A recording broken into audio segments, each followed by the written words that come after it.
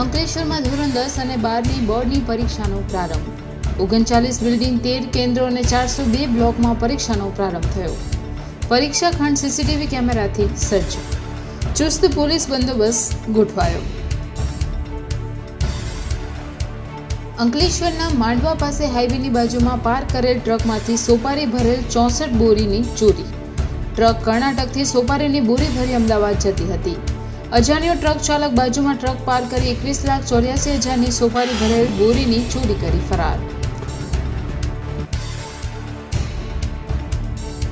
અંકલેશ્વરના પિરામણ ગામ ખાતે યોજાયેલ મહુરમ અહેમદ પટેલ મેમોરિયલ ફૂટબોલ ટુર્નામેન્ટની પૂર્ણાહુતિ.